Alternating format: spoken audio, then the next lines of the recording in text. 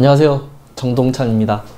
어, 여러분들이 달아주신 댓글을 모두 확인을 했어요. 했는데, 아, 저는 참 제가 제 팔자를 알면서도, 음, 살이 있잖아요, 살. 물론 이 살은 편관을 얘기하는 거예요. 이것이 있는 사람들의 특징이 뭐냐면은 항상, 어, 내가 생각한 것 이상의 범위를 초과하는 일들이 있을 수 있거든요. 저는 그렇게 많은 사람들이 다, 댓글을 달아줄 거라고 생각을 못했어요. 그래서 그 댓글 하루하루 달리는 걸 보면서 아, 좀 절망스러웠습니다. 이걸 어떻게 다 해야 되나. 음, 사실은 제가 강의 때 필요한 명들이 있을 거 아니에요. 그런 명들이 이렇게 그런 명을 가지신 분들이 댓글을 달아주셨으면 더 좋았을 텐데 너무나 많은 분들이 댓글을 달아주셔가지고 제가 선별하는데 조금 애를 먹었어요. 어, 그 댓글을 달아주실 때 그 생년월일을 얘기해 주시면 안 되고요. 음, 그냥 연부터 시까지 불러주셔야 돼요. 제 영상을 보신 분들이라면은 만, 만세력도 한번 뽑아봤을 거고 내 팔자가 어떻게 생겼는지 알 거고 적어도 어, 내 팔자를 이야기할 정도는 될 거라고 생각을 해요. 어 그러니까 이제 뭐 뭐 저 같은 경우는 무진년생이니까 무진, 정사, 임신, 을사 이렇게 얘기해주면 돼요. 순, 순차적으로. 그리고 이제 중요한 게 뭐냐면은 그 대부분들이 이제 안 하신 게 남과 여를 구분해 주셔야 돼요. 반드시. 왜 그러냐면은 같은 생일이라도 남자하고 여자하고 운이 흐르는 방향이 달라요. 방향이. 대운에 대한 얘기를 조금 해볼까요? 제가 이제 만세력 강의 때 다 얘기 안 한 부분인데, 음,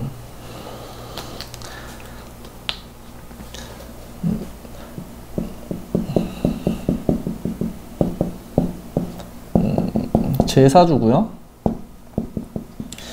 대운이 10년에 한 번씩 바뀐다고 했는데 그게 이제 어떤 원리로 가느냐. 자, 이 월주를 주목을 해주셔야 돼요. 여러분 사주 빨리 써놓고 월주 한번 쳐다보세요. 월주. 자, 월주를 보면은 정사 이렇게 되어 있죠. 이때부터 앞으로 가느냐 뒤로 가느냐의 문제예요. 그게 남자로 태어나느냐 여자로 태어나느냐 그리고 무슨 연도에 태어나느냐에 달려 있어요. 이를테면 그런 거죠. 어, 저는 남자이고요. 남자이고, 여기 보면은 양간이 있죠. 양간. 무토는 양토잖아요. 양토니까, 어, 연간이 양이다. 이렇게 되면은 요거는 순행이에요. 순행. 순행이라는 거는 순서대로 바르게 흘러간다. 그래서 정사 다음에, 정 다음에 무잖아요. 그리고 사 다음에 오가 되고, 무 다음에 경이 되고, 그 다음에 오 다음에 음, 아, 무 다음에 경이 아니구나. 무 다음에 기토가 되죠. 기토. 그리고 이제 오가 다음 미토가 되고, 기토 다음에 경금이 되고, 미토 다음에 신금이 이렇게 순행으로 가요. 순행으로. 그러니까 남자는 양이잖아요. 양. 양. 어, 이제 뭐 남자가 음인 시대로 들어가는 것 같지만은 남자는 일단 양이잖아요. 그리고 연간이 양이잖아요. 이렇게 되어 있을 때 어, 순행한다. 연관하고 맞춰봤을 때 맞으니까. 자 반대로 어, 만약에 제 저와 똑같은 사람이 여자가 양간인 연도에 태어났다. 이렇게 되면 이건 역행이에요. 그래서 어, 저랑 똑같은 생일을 가진 여자는 거꾸로 가요. 병 그리고 진이 있죠. 진, 을, 묘, 갑, 인 이런 순서로 여름에 태어났지만은 봄, 겨울로 이렇게 거꾸로 역행을 하게 됩니다. 그거를 역행이라 그래요. 역행. 그러니까 88년도에 태어난 모든 남자는 순행을 하고요. 대운이. 88년도에 태어난 모든 여자는 역행을 한다. 반면에 만약에 뭐 이거보다 더 뒤인 기사년도에 태어났다. 기사년도에 음, 뭐 자월에 뭐 이런 사주가 있어요. 남자예요, 남자. 남자이고 양이지만은 어, 연간이 음이잖아요, 음. 안 맞죠? 이렇게 안 맞게 되면 역행이에요. 그래서 병자를 기준으로 해서 거꾸로 가게 돼 있어요. 을, 해, 갑술 이런 식으로 역행하게 된다. 그래서 89년도에 태어난 모든 남자는 역행을 한다. 만약에 이때 남자가 아니라 여자로 태어나요. 여자는 음이죠. 그리고 연간이 음이에요. 음토예요.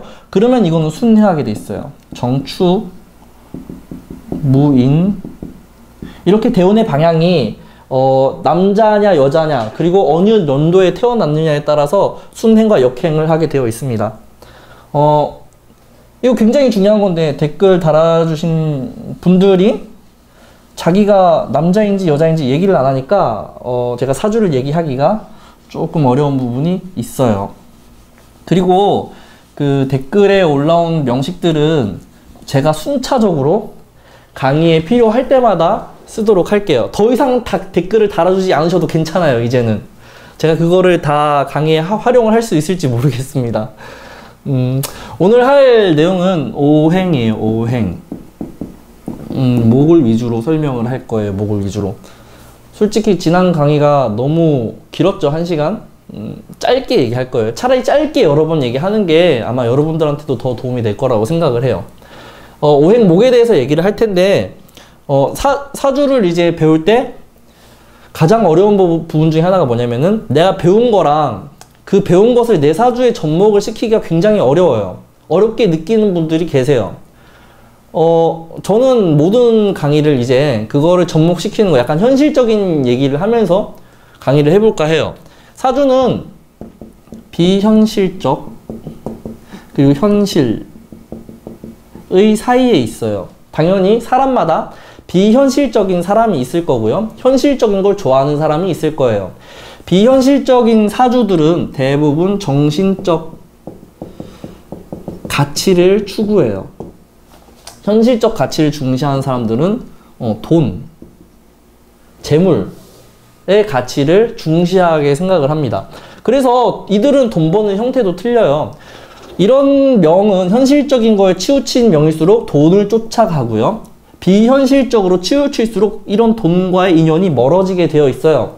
그런 사람들은 돈 버는 것보다는 정신적 가치를 추구해요. 돈을 벌어도 그런 쪽으로 돈을 써요. 올해 무술년 같은 경우는 사람들이 대부분 비현실적인 공간으로 들어가는 운이에요. 누구나 너나 할 것 없이. 그래서 어, 모든 사람들이 이제 그런 쪽으로 들어가다 보니까 어떻게 보면 경제가 이렇게 어려워진 것도 일정 부분 기여를 하게 되는 거죠. 자, 오행목에 대해서 얘기를 하겠습니다. 목. 음, 한마디로 얘기하면 이거는 시작이에요, 시작. 그러니까 시작하려고 하는 모든 힘은 목에서 나와요, 목. 그런데 그렇게 따지면 그럼 목이 없는 사람들은 시작을 안 하는 거냐? 라고 얘기를 할 수도 있어요. 어, 그런 의미가 아니라요. 이 시작은 동기 와 밀접한 연관이 있어요. 동기. 그러니까 우리가 어떤 행위를 하기 위해서는 이런 동기, 살짝 건드려 주는 게 필요하죠. 그게 바로 목이라는 거예요. 목은요, 호기심이고요. 이 호기심은 알고 싶은 거죠. 우리가 언제 가장 알고 싶어하고 호기심이 많았어요? 한번 잘 생각해 보세요. 어, 시절로 얘기하면 유년, 유년기, 어렸을 적에 이런 목의 에너지가 가장 왕성할 때예요. 가장 먼저 배우는 말 중에 하나, 이거 뭐야? 이거 뭐야? 저거 뭐야? 이거 뭐야? 그러면서 마구마구 흡수하기 시작하죠. 그리고 어, 조금 말을 알아듣고 뛰어다니고 하면서부터는 더 많은 걸 볼 수 있게 되고요. 더 궁금한 게 많아져요. 그게 바로 목의 에너지예요. 알려고 하는 마음. 음, 목이 강한 사람들은요, 이런 에너지가 죽을 때까지 유지가 돼요. 죽을 때까지. 그래서 나이 30, 40을 먹어도 어떤 거에 대한 호기심, 어떤 거에 대한 알고 싶어 하는 마음, 또 다르게 얘기하면은 관계의지라고 얘기하기도 해요. 관계의지. 무언가와 관계를 맺고자 하는 의지. 이 관계의 대상은요, 사람일 수도 있고 물건일 수도 있어요. 인연을 맺고자 하는 의지를 얘기합니다. 음, 근데 그 목이 없는 사람들은 그냥 순차적으로 나이 먹어 가는 거예요. 어렸을 때 아이 답다가 뭐 한 30대, 40대 되면은 이제 목의 에너지가 아니라 그때는 금의 에너지를 쓰니까 이 목은 금의 반대잖아요. 금은 다 안다예요. 안다. 어, 다 아니까 이제 뭐예요? 귀찮은 거예요. 귀찮은 거. 그래서 출발점이 달라요. 목과 금은. 그 PC방에서 게임을 하는데 게임을 하는데 이제 옆에 초등학생이 한 명 앉아요. 빈자리에. 그러더니 훈수를 막 두기 시작해요. 형, 그건 그렇게 하는 거 아니야. 이건 이렇게 해야지. 이러면서 막 훈수를 두는 거예요. 왜 그렇게 하겠어요? 목에 에너지가 있으니까 가능한 거예요. 목에 에너지. 관계를 맺고자 하는 의지라는 게 꼭 연결이 돼야 된다는 게 아니라 처음 보는 사람한테 말 거는 것도 다 목의 에너지라고요. 어떤 거를 뚫고 향하는 마음이라고 제가 지난 강의 시간에 얘기를 했어요. 뚫고 가는 힘이니까 쉽게 얘기가 나오는 거예요. 그러니까 남들 같으면은 특히 이제 우리 또래들 한 20대, 30대 그 정도 나이만 먹어도 어, 누군가한테 말을 거는 게 쉽지가 않아요. 아이라면 차라리 가능하죠. 근데 이 뚫고 나가는 힘이 많이 약해졌잖아요. 어른이 돼버렸으니까. 아이는 어, 목이 왕성하기 때문에 계속 잘하려고 해요. 위로. 어떤 사람을 찌른다고요. 목은 찌르는 힘이거든요. 그래서 이게 목이다. 그러면은 내 사주에 목이 있으면은 이런 것들이 되는 거예요. 뭔가를 시작하려는 거, 의지를 가지는 거, 의지도 돼요. 의지. 뭐, 뭐, 모든 의지가 모든 오행이 의지가 있지만은 목의 의지라는 거는 어떤 호기심과 동기, 동기 부여가 돼서 그거를 시작하고자 하는 마음이 목이에요. 그래서 목이 조금이라도 발달을 했다. 시작 잘해요. 우리들이 가장 조심해야 되는 게 미루는 거거든요. 요즘 사람들이 가장 많이 걸린 병 중에 하나예요. 미루는 거. 오늘 오늘 할 거를 내일 하고 내일 할 거를 그 내일 모레 하고. 목이 강하면은 최소한 미루는 건 안 해요. 어떤 걸 해요? 오히려 추진을 합니다. 추진. 그래서 모든 추진은 목한테 맡기면 돼요. 목. 뭔가를 발제하고 발의하고 추진하고 이렇게 처음에 시작할 때 목의 에너지가 가장 크게 발동을 한다. 그래서 친구들 다섯 명이 모여요. 다섯 명.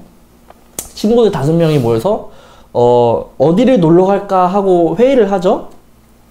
그렇게 회의를 하는데 툭툭 던지는 말들을 목들은 어떻게 해요? 목이 있는 사람들은 그 툭툭 던진 걸 잡아 끌어서 바로 추진해 버려요. 그러니까 잔소리를 하더라도 목이 있는 사람한테 잔소리를 하면은 어, 달라요. 실제로 이제 어떤 일이 있었냐면은 그 제가 이제 그 사주를 가르치는 그 모임이 있어요. 그 모임에서 그 어떤 한 명이 을묘일주예요, 을묘. 목이 강하죠. 을묘일주인데 그분이 눈썹이 살짝 약했거든요. 약해서 그 눈썹 하면 좋을 것 같다, 눈썹 문신 하면 좋을 것 같다라고 했더니 그 자리에서 바로 전해서 내일 그 다음날 약속을 잡아서 그 다음날에 바로 눈썹 문신하고 달라져서 나타나셨어요. 목의 추진력이에요. 그래서 어, 많은 여성분들이 지금 다이어트를 해야겠다. 목이 강하면은 바로 등록부터 하러 간다고요. 생각할 게 아니라. 목이 약하면 약할수록 이런 시작하는 거, 추진하는 게 잘 안 되기 때문에 미루게 돼요. 미루게 되니까 뭐 다음 달에 하지 뭐. 그러니까 그 다이어트를 해야 되는데 눈앞에 치킨이 왔다 갔다 하잖아요. 막 라면 냄새 나고. 음, 그거 먹는 거예요. 그냥 아 내일 하면 되지. 자꾸 미루게 된다. 그래서 뭔가를 시작할 때는 목에 에너지가 필요합니다. 음, 그래서 목이 뚜렷한 사람들은 어떤 여자한테 내가 좋아하는 여자한테 말을 걸기에도 용이해요. 대신에 그거는 이제 반드시 화라는 조건을 봐야 돼요. 목의 에너지를 끌어줄 수 있는. 오히려 목은 강한데 나머지 것들이 약할 수 있잖아요. 목은 시작이라고 했는데 우리가 시작하면 과정이 있을 거 아니에요? 과정. 결과가 있을 것이고 그, 그 결과로 피드백도 받아야 될 거란 말이에요. 다시 뭔가를 시작하기 위한. 그런데 목은 오로지 이 부분에 관여하고 있어요. 제가 자주 얘기하는 게 자동차가 동력이 있어야 되죠. 동력. 동력이 있어서 이렇게 쭉 앞으로 나가야 되잖아요. 악셀 밟는 순간. 근데 중요한 거는 이 동력을 얻기 위해서는 동기가 필요하다고요. 동기. 이게 이제 시동 거는 거예요. 시동. 그게 목의 에너지다. 그래서 그냥 사주 보고 목이 있으면 아이고 시작을 잘하네 이렇게만 얘기하시면 돼요. 대신에 목이 약하면 약할수록 그런 게 안 된다. 목이 약하면 약할수록. 그리고 가장 목의 가장 큰 특징은 뭐냐면은 무목적이라는 거예요. 무목적. 목적하지 않는다. 그냥 호기심이요 그냥 생기는 거라고요. 그냥 반대는 금이잖아요. 금. 금은 유 목적이에요. 그래서 어 달라요. 이들은 놀러를 가도 목일관한테 전화를 하죠. 야, 술 먹게 놀러, 술 먹게 나와. 이러면은 그냥 나와요. 목적이 없는 거예요. 근데 금한테는 전화하면은 나오기 싫어해요. 기본적으로.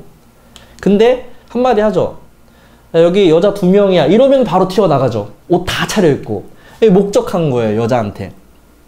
다르죠. 금목이.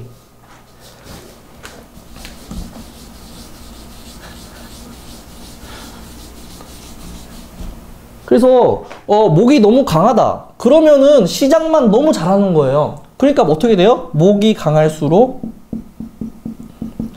일 벌린다. 일 벌린다. 일을 벌릴 줄만 알지 수습한다는 말은 아니에요. 그래서 어, 오히려 이런 나머지 화토 금수에 의해서 그 일에 진행되는 그 진행 정도와 결과가 나오고 다시 피드백, 피드백이 되고 이러는 거죠. 그래서 만약에 궁합을 볼 때도 한쪽이 목이 강하다. 뭐 남자가 있고 여자가 있는데 한쪽이 목이 강한 뭐예요? 만약 여자가 목이 강하다 이러면 일 잘 벌린다고요, 이 사람이. 데이트할 때도 막 이거 하자 저거 하자 다 해요. 호기심이 왕성하거든. 나이를 먹었는데도 애 같잖아요. 그게 목이 강한 사람들의 특징이에요. 나이 먹어서 그게 애라는 게 아니라 애 같다고요. 애. 호기심이 많으니까. 호기심이 많은 거는 아이만이 가질 수 있는 특권인 것 같아요. 뭔가를 궁금해하고 그 호기심 때문에 행복이 만들어지거든요. 행복.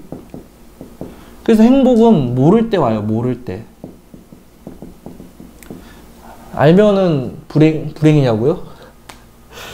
어, 알면은 불행할 수 있어요. 그래서, 어, 뭐 아는 것이 힘이다. 이렇게 얘기를 하는데요. 음, 누구나 다 어렸을 때가 행복했을 거예요, 아마. 왜요? 어렸을 때는 모르잖아요. 뭐를 몰라요? 돈을 벌어야 된다. 사람 간의 상하가 존재한다. 돈을 벌기 위해서 자존심 꺾어야 된다. 내가 뭔가를, 내가 내 행복한 삶이 있을 거 아니에요, 누구나. 그, 그리고 있던. 그런 게 현실적으로 이게 맞지 않다는 걸 알면서, 알면서 불행해지기 시작하는 거예요. 근데 목이 이렇게 가면 항상 뭐를 모르는 듯 하다고요, 모르는 듯.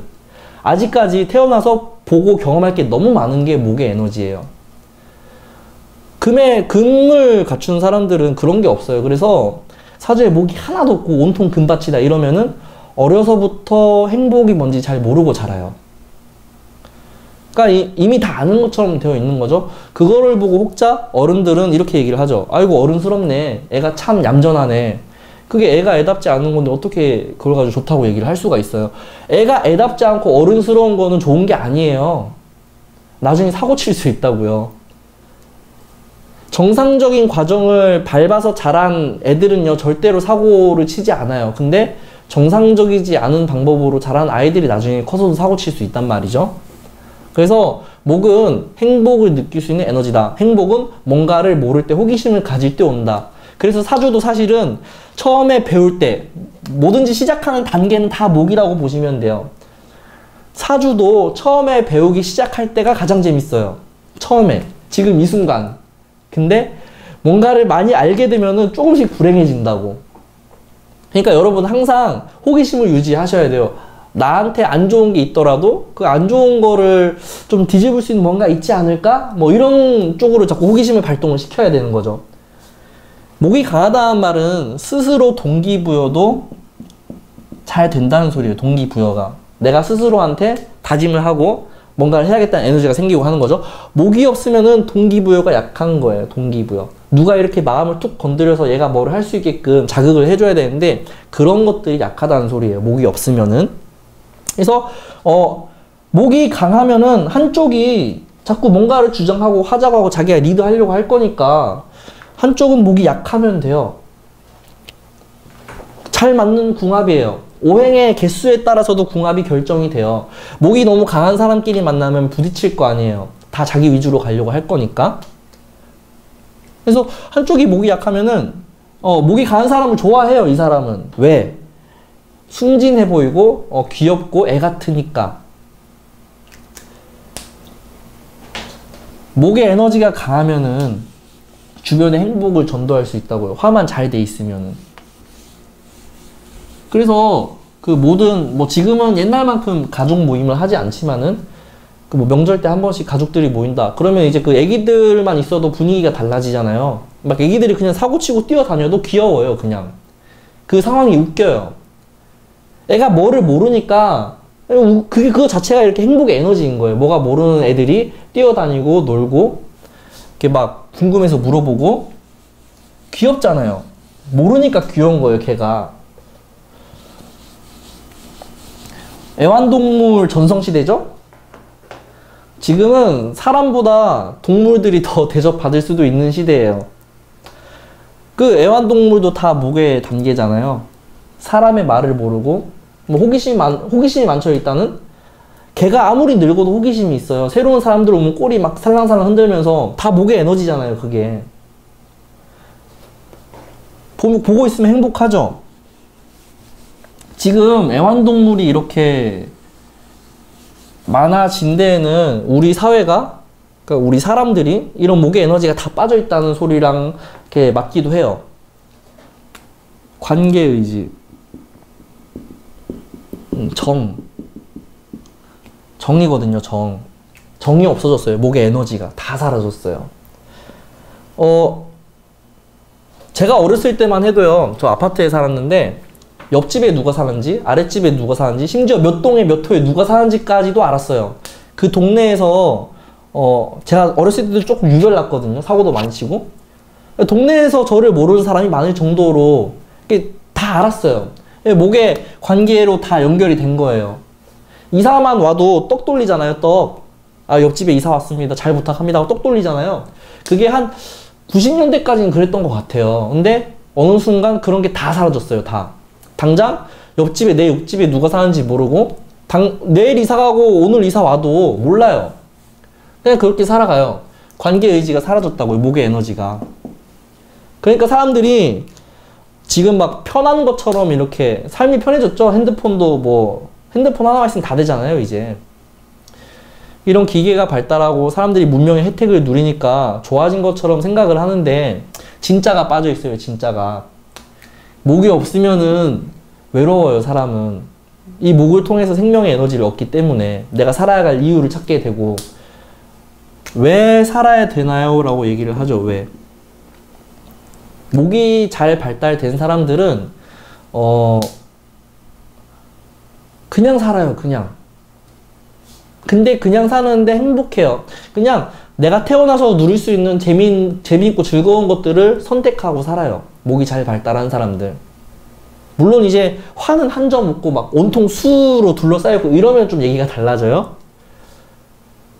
근데 목이 없으면 없을수록 이 왜라는 궁금증이 해소가 안 돼요. 목화가 잘 돼 있는 사람들한테 가서 물어보세요. 왜 사냐고. 그냥 재미있어요. 그 사람들은 사는 게. 이유를 찾지도 않아요. 그렇게 살다가 행복하게 누릴 거 다 누리고 가는 거예요. 좀 주제가 무거워졌는데? 이를테면 이런 거죠.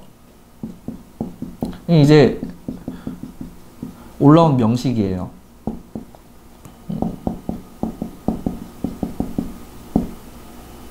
음, 그리고 을미시네요. 여자이고요. 98년생입니다. 98세가 아니라 98년생이요? 보면은 어때요? 목, 목, 목, 목. 목이 다섯 개예요, 다섯 개. 어때요, 이분은? 시작하는 에너지. 그러니까 이분은 지금 21살인가요? 98년생이면은? 천진난만한 아이 같은 에너지가 있다고요. 시작 잘한다고요. 근데 이 목이 뭘로 돼 있어요? 다 인성으로 돼 있잖아요. 인성. 인성은 생각하는 힘이에요. 생각. 그러니까 뭐를 시작 잘하는 거예요? 생각을 잘 시작하는 거예요. 생각을. 음, 머릿속이 굉장히 복잡한 사주예요. 이렇게 인성이 많으면은 그리고 목이 너무 많잖아요. 이 목을 어떻게 끌어줄 수 있는 구성이 안 돼 있어요. 사주에서. 뭐요? 생각만 많고 생각 정리가 안 돼요. 뭐요? 일어나서 잘 때까지 오, 오만 가지 생각하다가 자는 거예요. 근데 보통 그렇게 자고 일어나면은 까먹고 망각하고 그 정, 생각 정리가 어느 정도 되고 그 생각을 안 해야 되는데 멈추지 않아요, 이런 사주는. 어, 만약에 좀 사주 구조가 불순했으면은 정신병까지 갈 수 있는데 다행히 화일간이죠, 화일간. 예, 그렇게까지 가지진 않습니다. 그래도 병화로 되어 있기 때문에. 음, 이분은 이 생각을 정리하기 위해서 그러니까 목이 이 왕성한 목의 에너지를 쓰기 위해서는 목을 끌어내주는 에너지만 있으면 돼요. 어, 화로 잘 끌어주거나 금으로 정리하거나 금으로 정리 금은 정리하는 건데 정리하는 거는 뭐예요? 쓰는 거예요. 쓰는 거. 생각을 정리하는 가장 빠르고 쉽고 좋은 방법이 쓰는 거예요.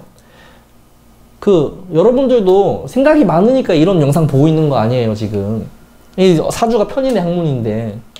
편인을 정리하는 가장 좋은 방법은 쓰는 거예요 쓰는 거. 그냥 노트 하나 사서 쓰라고요. 내, 내가 무슨 생각을 하던가 하던 간에 그 생각을 그냥 쓰세요. 쓰면 뭐가 돼요? 눈으로 확인할 수 있어요 눈으로. 눈으로 확인을 하니까 어때요 내 머리에 있는 게 막연했던 게 구체적으로 뭔가 표시가 된 거예요 문서화 된 거예요 그러면 내가 무슨 생각을 하는지 알게 되고 내 생각을 내가 마주할 수 있어요. 그렇게 하면은 정신병도 치료가 돼요. 어, 내가 만약에 마음이 아프다, 너무 힘들다. 그러면은 일기를 쓰시라고, 일기를. 일기를 쓰고 읽잖아요. 그러면은 스스로가 힐링을 할 수 있어요. 그 일기를 보는 거 하나로. 내 마음을 내가 아니까 눈물이 나요. 일기를 보면서. 그게 이 많은 인성을 정리하는 방법이에요. 당연히 뭐 공부 시작 잘하니까 사주 공부도 어때요? 금방 어 사주 쉽네 하고 공부하죠. 끝까지 간다는 보장은 못해요. 어느샌가 보면은 뭐 대학생일 거 아니에요. 20대니까. 사주는 저 멀리 하고 때려치고 저 전공 공부하고 막 시험 보고 이러느라 바쁠 거예요. 음, 이 왕성한 에너지를 잘 소화시키는 거는 공부하는 거죠. 대신 끝까지 가지고 갈 인내심이 필요합니다. 음, 오늘은 목에 대해서 간단하게 얘기한 거고요. 다음 시간에는 화, 토, 금, 수에 대한 얘기를 자주 할 것 같네요. 뭐 한 번에 다 한다는 게 아니라 하나씩 이렇게 가자고요.